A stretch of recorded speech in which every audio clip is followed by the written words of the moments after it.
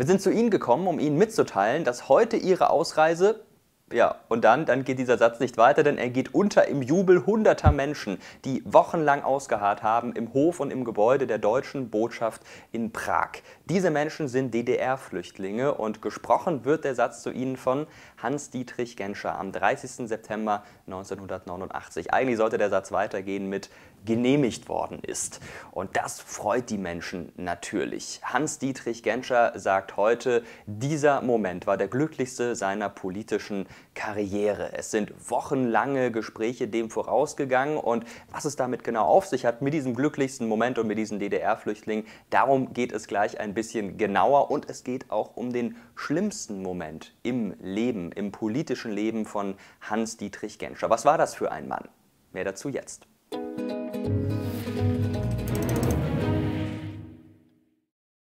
Hans-Dietrich Genscher war im Laufe seiner politischen Karriere nicht nur Außenminister, er war auch Innenminister, er war Vizekanzler und er war Vorsitzender seiner Partei, der FDP. Ein langes politisches Leben hat er geführt. 23 Jahre lang war er an verschiedenen Bundesregierungen beteiligt. Wirklich der Wahnsinn, kann man schon sagen.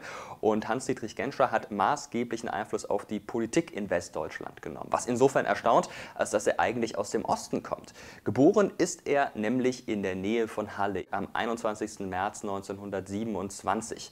Als die Wehrmacht in Polen einmarschiert, ist er zwölf Jahre alt und wird später dann im Krieg als Flakhelfer und noch später als Soldat eingesetzt, kurz bevor der Krieg vorbei ist. Er gerät dann auch in Kriegsgefangenschaft, aber diese Kriegsgefangenschaft, die ist relativ schnell wieder vorbei. Nachdem Genscher aus der Kriegsgefangenschaft entlassen wird, geht er nach Leipzig und studiert dort Jura. Deutschland liegt in Trümmern, aber es liegt auch so eine Aufbruchstimmung über dem Land und gerade junge Menschen sind sehr motiviert, ein demokratisches Deutschland aufzubauen. Das ist allerdings im Osten, in dem Hans-Dietrich Genscher in dieser Zeit lebt, nicht wirklich möglich. Die Sowjets wissen das zu verhindern. Und deswegen kehrt Hans-Dietrich Genscher schon sehr früh seiner Heimat den Rücken zu. 1952 verlässt er Ostdeutschland und geht in den Westen, nämlich nach Bremen. In Bremen arbeitet Hans-Dietrich Genscher als Rechtsanwalt und er tritt in die FDP ein. Eine Partei, in der er relativ schnell die Karriereleiter immer weiter nach oben klettert, während er sein größtes politisches Ziel mit Nachdruck verfolgt, nämlich die Wiedervereinigung. Klar, er kommt aus dem Osten und die Menschen dort liegen ihm ganz besonders am Herzen. Dann kommt 1969 mit Willy Brandt die neue Ostpolitik. Das ist etwas, was Hans-Dietrich Genscher sehr, sehr gut in die Karten spielt. 1970 erkennt die Bundesrepublik die DDR als Staat an und zwei Jahre später nehmen beide Staaten offizielle Verhandlungen miteinander auf. Damit ist zwar noch längst nicht alles im Lot, aber zumindest redet man jetzt miteinander. Aber dann kommt der 5. September 1972 und mit ihm der schwärzeste Tag der deutschen Nachkriegsgeschichte.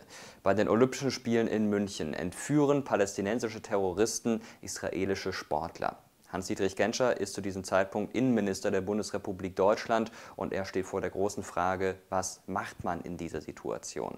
Die Entführer fordern, dass palästinensische Gefangene freigelassen werden und dass auch die RAF-Terroristen Bader und Meinhof freigelassen werden. Hans-Dietrich Genscher versucht mit dem Führer der Terroristen zu verhandeln. Issa heißt dieser Mann und er bietet sich sogar als Austauschgeisel an. Aber die Terroristen lehnen ab.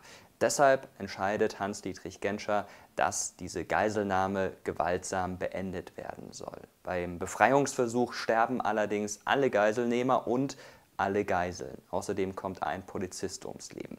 Hans-Dietrich Genscher bezeichnet diesen Moment als den schwärzesten seiner gesamten politischen Karriere und er zieht daraus seine Konsequenzen, nämlich indem er kurz darauf die Spezialeinheit GSG 9 ins Leben ruft. Zurücktreten muss Hans-Dietrich Genscher aber nicht. Er behält sein Amt.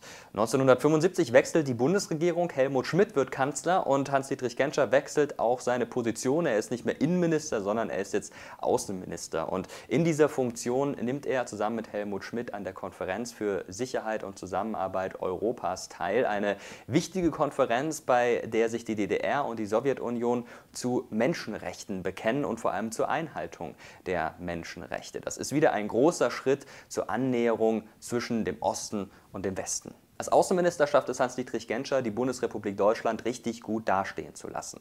Sein großes Geheimnis dabei ist es, Gespräche zu führen. Ständig sitzt er irgendwo im Flieger und reist durch die Weltgeschichte, unterhält sich mit den Mächtigen der Welt und immer dabei, oder fast immer dabei, ist sein Markenzeichen der gelbe Polunder. Mit diesem gelben Polunder kennt Hans-Dietrich Genscher in den 1980er Jahren fast jeder und das führt sogar so weit, dass die Satirezeitschrift Titanic ihm eine eigene Comicfigur widmet, den Gensch Man. Es gibt Feuerzeuge mit dem Gensch Man, T-Shirts und so weiter und so fort.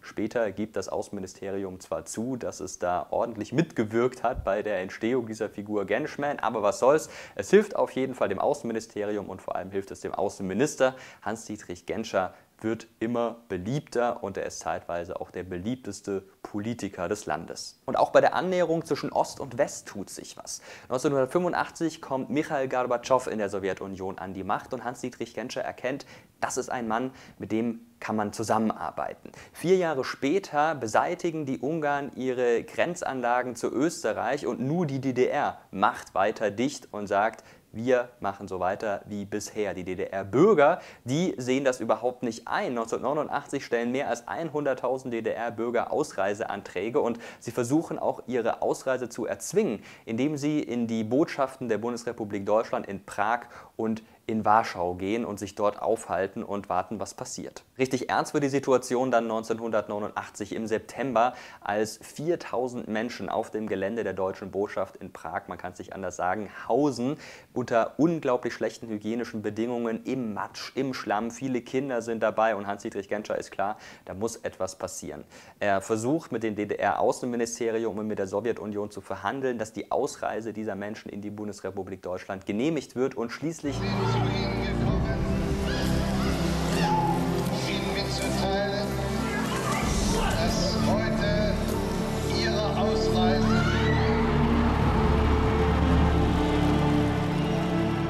hat er auch Erfolg. Eine Tat, die ihm bis heute von vielen Menschen sehr, sehr hoch angerechnet wird. Hans-Dietrich Genscher seinerseits sagt, das war für mich selbstverständlich. Ich komme aus dem Osten, ich bin selbst geflüchtet und ich bewundere die Menschen für ihren Mut. 1992 ist dann aber Schluss. Hans-Dietrich Genscher tritt freiwillig zurück als Außenminister und als Vizekanzler und er ist bis 1999 nur noch als einfacher Abgeordneter im Deutschen Bundestag. Dann ist auch das vorbei. Er arbeitet als Rechtsanwalt, er ist politischer Berater und vor allem ist er gern gesehener Talkshow-Gast und Ansprechpartner der Medien, wenn es um nationale und internationale Probleme geht. Ein Elder Statesman, wie er im Buche steht. Unterm Strich kann man sagen, Hans-Dietrich Genscher, ein großer Staatsmann, jemand, der entscheidend zur Wiedervereinigung beigetragen hat und auch zur Schaffung eines vereinten Europas. Und das hat er teilweise auch mit einem anderen bekannten Mann gemacht, nämlich mit Helmut Kohl. Wenn ihr zu ihm ein Video haben wollt, dann klickt einfach auf das i über mir, dann kommt ihr zu diesem Video. Und was mich interessieren würde, ist, Hans-Dietrich Genscher gilt ja für viele so als großes politisches Vorbild.